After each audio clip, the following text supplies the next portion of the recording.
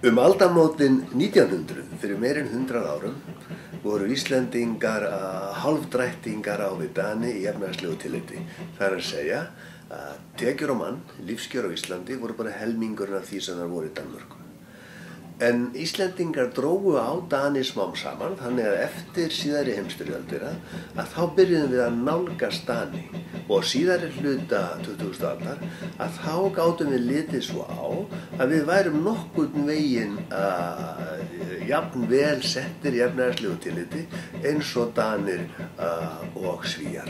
En uh, hrunið breytti þessu öllu, nú höfum við aftur dreyjist langt aftur úr Danmörku uh, og uh, Svíðjóð. Just... Uh, Ísland er markaðshaggerfi eins og önnur OECD-land en það haldrar vegna þess að markaðsbúskapur, heilbriðu markaðsbúskapur hefur ekki átt eins auðvelt uppdráttar hér eins og annar staðar og ástæðan til þess er bara sterk staða sérhagsmunahópa sem telja að markaðsbúskapur myndi skerða hlut þeirra. Og tilgangur með markaðsbúskapi er einmitt að skerða hlut sérhagsmunahópa. Og þessa sá mjög glögglega stað þegar að bankarnir voru loksins færðir í enga eign. Það gerðist eftir að búið var að enga væða alla banka í gömlu kommunustaríkjónum í Östur-Európu. Það sýnir hversu aftalega og meirinni Íslandingar voru. Og svo þegar kom að því að enga væða bankana, þá voru þeir settir í hendurnar á enga vinum stjórnvalda og það tók þessi enga vini bara örf á ár að keira bankana í þrótt. Það sem breytist í hruninu er að augu margra Íslandinga opnuðust fyrir því sem að hér hafði farið úr skeinis.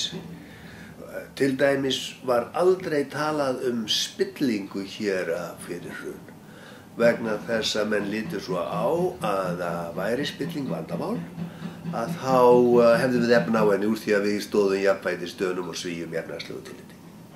En eftir hrun uh, er spilling eitt af mest notuðu orðum í uh, ofinberðu umræðu á uh, Íslandi.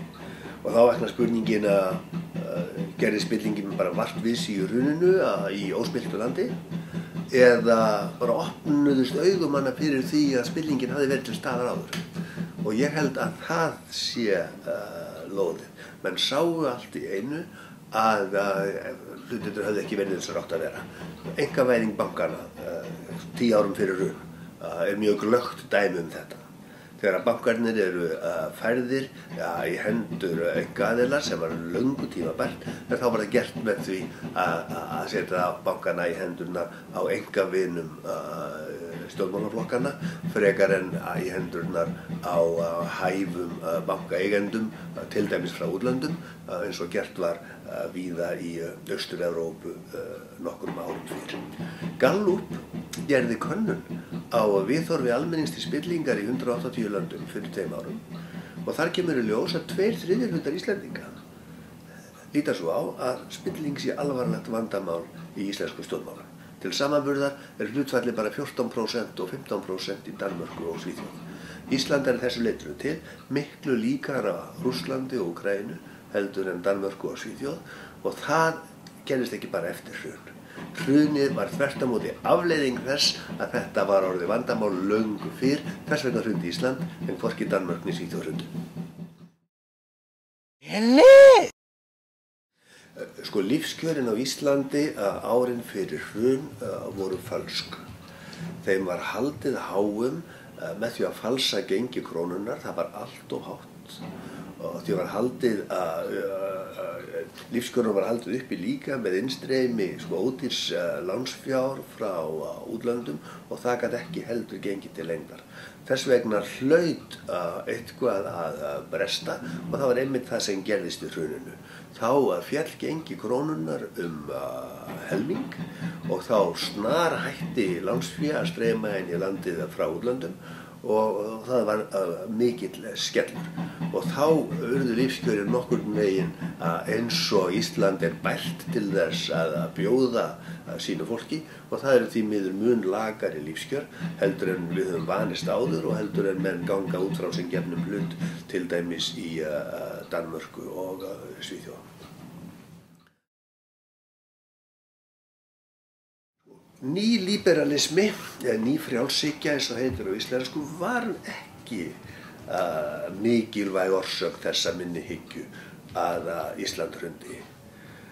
Og uh, ég er þessara skoðunum vegna þess að sko hægri öflin á Íslandi eins og þau kalla sér sjálf, að þau eiga miklu meira sameinlegt sko með sko gamla Sovjetinu og jafnvel með sko gömlum kommunistum í Östur-Európu heldur en nokkur tíma með borgaralegum stjórnmálamönnum á Spáni eða Þískalandi eða Danmörsku eða Svíðjón og maður sér þetta mjög skýrt í enga væðingubankana þar sem þeim börður sér á brjóst og svoðu nú enga væðum við en hvernig gerðu þeir það? Jú þeir gerðu það þannig að þeir gætu áfram, halduð áfram að valsa um bankana að, í gegnum fulltrúa sína að, í bankaráðunum og það var þess vegna sem þeir settu bankana í hendurnar á engavinum sínum frekar en að enga væða þá með ópersonlum hætti eins og ágjör átti með því til dæmis að selja gömlu íslensku ríkisbankana erlendum böngum.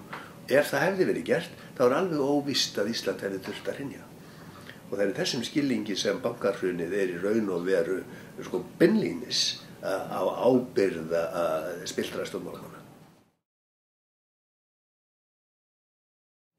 Það var mikill uppgangur í byggingum á Íslandi fyrir hrunn eins og sjámátti á því að byggingargrönum hafði uh, fjölgað mjög mikið, þetta stundum kallað kranakenningin um hrunn. Uh, ef að kranarnir verða of margir, grunnsamlega margir, þá þurfa að menna gæta sín á því að falla ekki fram af bjargbrúninni. En uh, það var samt ekkert sérstaklega óeðlilegt við byggingariðnaðin hér, öndverð því sem var til dæmis í Írlandi. Í Írlandi hefur komið í ljós að það voru hérna, spilt samskipti með írsku bankana og byggingafyrirtækjana og það átti mikinn hrun í þátt í Írskarluninu. Það er ekki komið í ljós samskonar samband millir byggingafyrirtækjana og bankana hér. Þannig að flesti líta svo á að byggingariðnaðurinn að hann ber enga sérstaka ábyrð á hruninu hér heima. Verðið sem Íslendingar fá fyrir orkuna sem þeir selja útlendingum hefur alltaf verið ríkislendarmál á Íslandi og það er nexli. Fólkið á orkuna og það er ekki hægt að halda lindu fyrir eigendum orkunar verðinu sem orkan er seld á. Og það er bara einn skiljanlega ástæða til þess að orkuverðið hefur verið lendarmál og það er það að menn skammar sín fyrir það hvaða er lágt. Og þessu þarf auðvitað að, að, að breyta.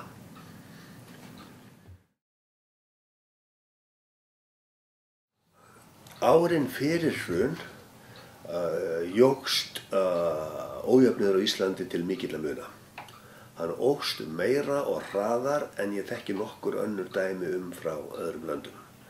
Og þetta var bara partur af uh, græðginni og græðgísvæðingunni sem fór með Ísland fram af hengiflýjunu 2008. En uh, eftir hrun að þá hefur aftur dreyið saman með ríkum og fátakum vegna þess að, að skilirðin til þess að aukast skindilega með lítilli fyrir höfn voru ekki lengur til staðar eftir hrun. En við erum ekki búin að leira þetta til fulls. Það sem gerðist fyrir hrun var að Ísland sem hafi alltaf verið eins og Norðurlöndin var allt í einu orðið eins og Bandaríkin í misskiptingu Eh, tekna og auðs. Og þetta gerðist, sko ánægst að væri nokkur umræðu um það, og þetta gerðist mér sér þannig að stjórnvöld þrættu fyrir það. Bara Hagstofan, hún, hún held ekki einu svona tölur um þetta. Uh, en núna hefur þetta lagast aftur, en samt er það þannig að við erum ekki aftur komin í miðjan hóp Norðurlanda, það sem Íslandingar uh, vilja held ég flestir vera.